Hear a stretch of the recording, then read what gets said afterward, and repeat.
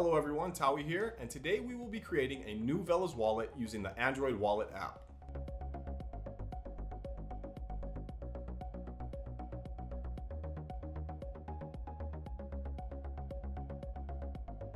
The Velas wallet is a multi-currency wallet that can be used on any web browser, whether it's on desktop or mobile.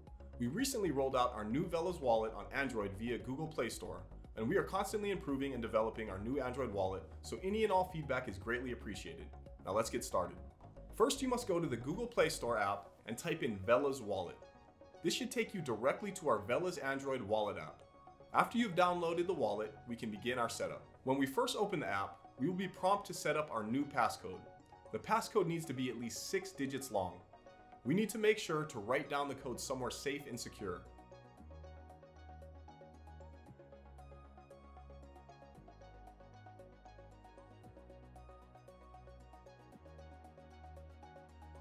Next, we will be given our new seed phrase. The seed phrase is 24 words long, and the seed phrase must be saved somewhere safe and secure. Remember, we cannot help you with restoring your wallet. You are the owner of your seed phrase and your private keys, you and you alone. You will be given a sheet to help you write down your seed phrase, or write it down somewhere safe and secure. Just make sure to number each seed word as you will need to confirm your seed phrase to finish setting up your new wallet. You will now be prompted to confirm your seed phrase in a random order.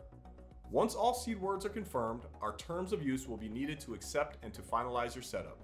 And there you have it. You can now start using our new Velas mobile wallet to store your funds. For any questions, please feel free to message us at Developer Channel on Telegram and make sure to subscribe to this channel for more helpful videos like this one. We'll see you on the next one.